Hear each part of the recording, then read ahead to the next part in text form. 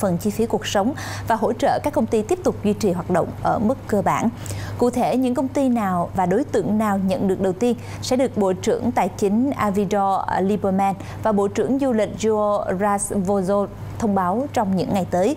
Có thể những công ty được ưu tiên là các đơn vị có doanh thu năm 2021 chỉ bằng hơn 20% so với năm 2019. Những công ty đưa khách ra nước ngoài chưa nhận được hỗ trợ trong đợt này, mặc dù họ cũng yêu cầu. Sau đợt này thì chính phủ dự tính sẽ có các khoản trợ cấp khác lên đến 100 triệu đô la trong trường hợp Omicron vẫn diễn biến phức tạp và biên giới tiếp tục phải đóng cửa. Theo The Guardian, lần đầu tiên sau 3 thập kỷ, thành phố Mainz của Đức được xóa sạch nợ nhờ sự thành công của công ty BioNTech đã làm cho doanh thu thuế tăng mạnh. Trước đó thì Mainz đã phải gánh ờ, một khoản nợ kể từ đầu những năm 1990, thời điểm các nhà chức trách thành phố vay mượn lên tới 1,3 tỷ euro. Tuy nhiên thì sự thành công của công ty BioNTech trong quá trình hợp tác sản xuất vaccine Pfizer đã thay đổi số thực tế này. Thay vì thâm hụt ngân sách năm 2021 dự kiến vọt lên 36 triệu euro, chính quyền Mainz đã công bố thặng dư ngân sách đạt 1,09 tỷ euro và thêm 490,8 triệu euro trong năm 2022. Chính quyền thành phố kỳ vọng sẽ xóa khoản nợ còn lại của thành phố trong vòng một năm.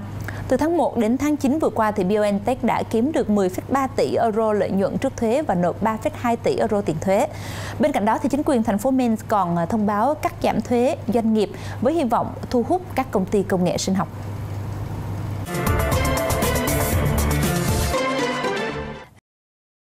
Theo các phương tiện truyền thông, của Thủ tướng trẻ tuổi gây nhiều tranh cãi của Áo, ông Stanku Người vừa từ chức cách đây không lâu vì những cáo buộc tham nhũng sẽ gia nhập quỹ đầu tư tài chính Thiel của Mỹ vào năm 2022.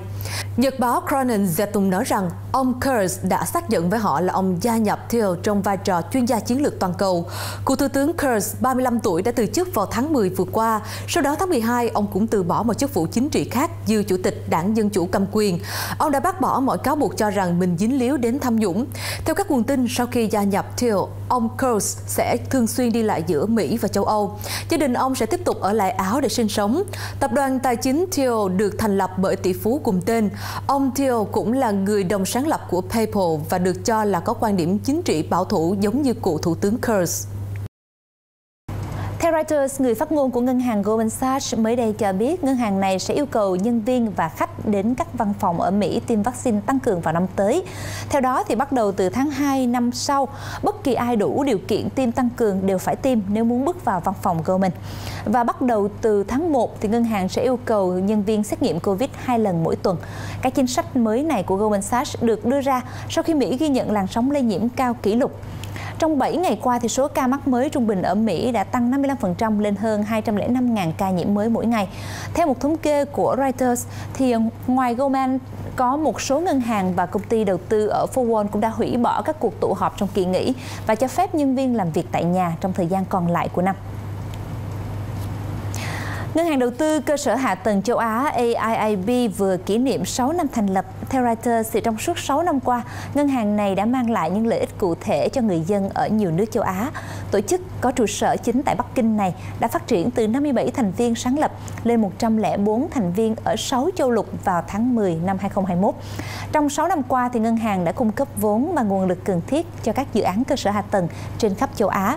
Tại Pakistan, Ngân hàng này và Ngân hàng Phát triển châu Á đã đầu tư hơn 200 triệu đô la Mỹ để xây dựng một đoạn của đường cao tốc M4 nối à, Sokot và Shanewal.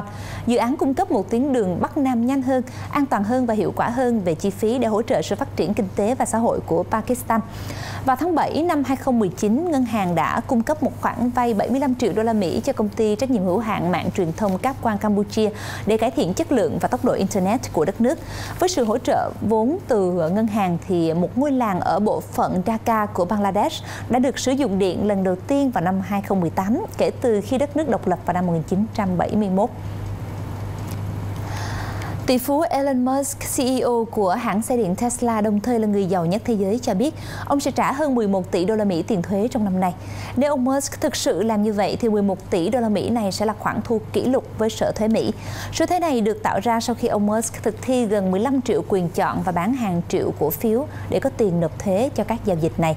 Vào đầu tháng 11, ông đã thực hiện một cuộc thăm dò trên Twitter cá nhân rằng sẽ bán 10% số cổ phần của mình tại Tesla nếu người theo dõi của ông đồng ý.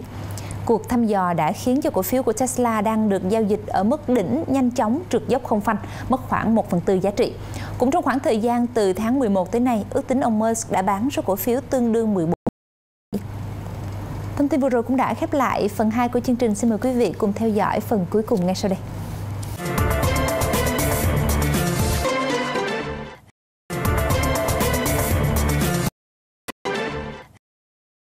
Vâng, chúng ta lại quay trở lại với chương trình tạp chí ngân hàng.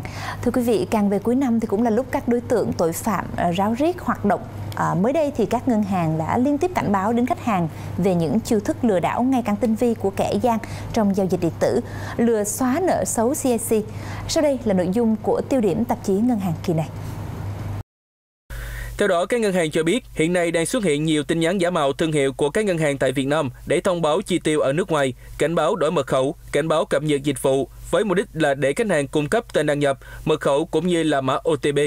Nội dung tin nhắn thường đính kèm các đường link giả mạo gần giống như website chính thức của ngân hàng, khiến cho nhiều người dễ nhầm lẫn, mất cảnh giác. Khi khách hàng đăng nhập đường link giả mạo, tên đăng nhập và mật khẩu các thông tin này sẽ được chuyển đến máy chủ của hacker và được dùng để chiếm đoạt quyền truy cập tài khoản ngân hàng điện tử và chiếm đoạt tài sản của khách hàng. Chưa dừng lại tại đó, nắm được tâm lý nhiều khách hàng có nhu cầu vay vốn để kinh doanh mùa Tết nên thường tìm cách xóa nợ xấu nhanh chóng. Các đối tượng sẽ sử dụng các thủ đoạn tinh vi, hứa hẹn hỗ trợ khách hàng xóa thông tin nợ xấu tại thông tin tín dụng CIC để được cấp tín dụng, từ đó ra tay chiếm đoạt tài sản. Vâng, đến đây thì chương trình tạp chí ngân hàng cũng xin được khép lại. Thay mặt những người thực hiện chương trình Phi Yến chân thành cảm ơn quý vị đã quan tâm theo dõi. Xin kính chào và hẹn gặp lại quý vị trong những chương trình kỳ sau.